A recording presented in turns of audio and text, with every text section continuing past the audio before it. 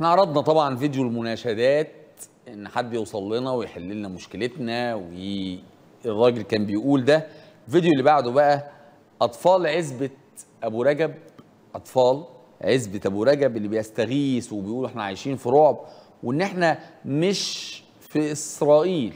إحنا مش إسرائيل إحنا مصريين زيكم. خلونا نسمع. لو سمحت يا سيادة الرئيس إحنا هنا بقالنا 120 سنة.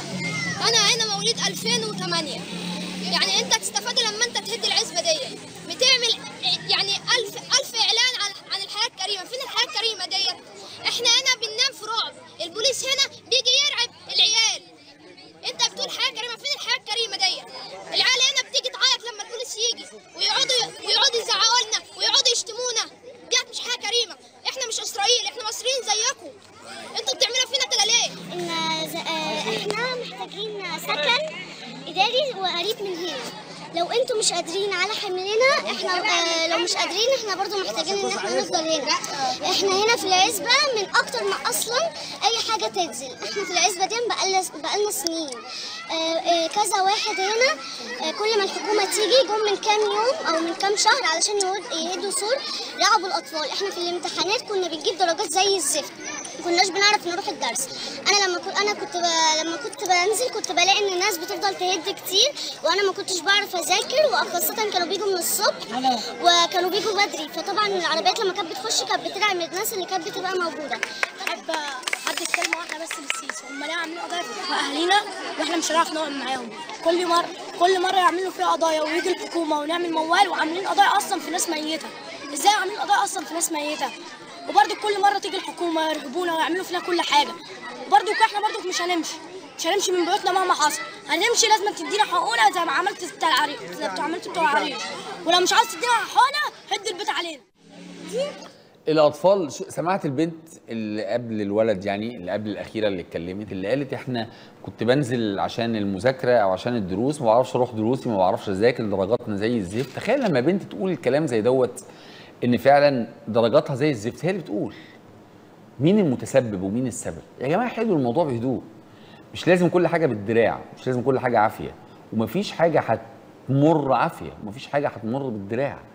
كل حاجة بتمر بال حلوا المشكلة. عايزين تعملوا تنمية عايزين تعملوا تطوير عايزين تعملوا تحسين حلوا المشكلة. خلونا نسمع جزء كمان من المشكلة واحتجاجات أهالي أبو رجب اهالي العزبة اللي بقى لها أكتر من 130 سنة بالوثائق والمستندات زي ما عرضناها والحكومة جاية تقول لهم دلوقتي مش اراضيكم وأنتوا مستولين عليها بالباطل ومتعديين عليها وهي مش ارضكم لكن الأهالي بيردوا. خلونا نشوف. السلام عليكم. أنا يا ريس مش معترض والله يا ريس. أنت بتقول حياة كريمة. اعمل حياة كريمة وأنا من أهل الحياة كريمة. أنت يعني أودي أنا أودي معايا ثلاث عيال أهو. أنا أوديهم فين؟ انت بتقول حياة كريمة للأطفال للجيل اللي طالع. حضرتك قايلها في مؤتمر في أول رئاسة الجمهورية السيد الرئيس عبد الفتاح السيسي. قايلها بلسانه أنا بعمل حياة كريمة للجيل اللي طالع. لابنك وابني وابني كل المواطنين. طب أنا أنت بتدوس عليا ولا بتعمل حياة كريمة للجيل اللي طالع؟ أنت حضرتك اعمل حياة كريمة أنا مش معترض. بس سيبني قاعد. هتعمل حياة كريمة؟ أنا من أهل الحياة كريمة. حضرتك ورا حوالين عزبة أبو رجب أمطار أمطار فدادين الأراضي. مش معنى عزبة أبو رجب. أنا ما بيني وما بين الدائري لا يقل عن 2000 متر. حضرتك تعالى بص على العزبة. لا يقل عن 2000 متر ما بيني وما بين الدائري. مردومة يا فندم. أرض زراعية مردومة. عليها مليارات الامتار ردم مردومة. اتبرت الأرض الزراعية حوالينا. أنت سبت الأراضي الزراعية بتقول دي بتاعت الدولة. تعالى شوف الأهالي عاملة إيه في الأراضي. تعالى شوف التطوير. لما بتقول حضرتك تطوير الردم ده بيروح فين؟ بيقول مقالب تبع المحافظة ما بيحصلش. حوالين العزبة كل الأمطار تعالى شوف حضرتك. أنت بتقول العزبة إحنا من أهل التطوير. أنا مش معترض. هتوديني فين أنا وعيالي؟ أنت هتوديني فين؟ بتقول حياة كريمة. أنا من أهل حياة كريمة. أنا من ابن الأرض وأنا مش طالع يا فندم. اللي حضرتك عايزه. اه- موتنا أنا وعيالي. شكرا يا سيادة الرئيس. بس مباشر. بسم الله الرحمن الرحيم.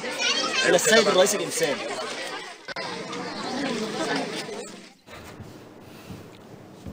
أهالي عزبة أبو رجب بيستغيثوا وبيصرخوا وبيقولوا يا جماعة بيقول له يا سياده الرئيس أنا ما عنديش مشكلة والله أنا مش معترض على حاجة بس حل لنا المشكلة وادينا التعويضات وما تخليناش نتهجر وما يعني الناس يا جماعة مش معترضة على حاجة الناس بتتكلم بهدوء جدا فلا بد أن يستمع المسؤولين لصوتهم أو لصوتهم. إحنا اتكلمنا عن أبو رجب وعزبة أبو رجب وسلطنا الضوء على هذه القطعة العزيزة العزبة الكريمة من أرض مصر محافظة القليوبية عزبة أبو رجب اللي بقى لها أكتر من 130 سنة والحكومة زيها زي كثير من العزب والأماكن والمناطق والمدن اللي بيتم تهجيرها علشان خاطر المستثمرين أو عشان خاطر نعمل كوبري أو نبني عاصمة أو نبني منتجع جديد لكن ما عملناش حساب أبدا. الأهالي والأسر اللي بقالهم أكتر من 130 سنة هم وأبائهم وأجدادهم في هذا المكان. نتمنى من المسؤولين أن ينظروا إلى هؤلاء الناس أن ينظروا لهذه الفئة أن ينظروا لعزبة أبو رجب. تحدثنا كثيرا عنهم وسنواصل الحديث عن كل عزب ونجوع ومحافظات مصر عن كل قطاعات ومؤسسات مصر حتى يعيش الناس في رخاء وأمن وأمان وسلام وهدوء وسكينة. أشوفكم الحلقة الجاية وأنا الشعب.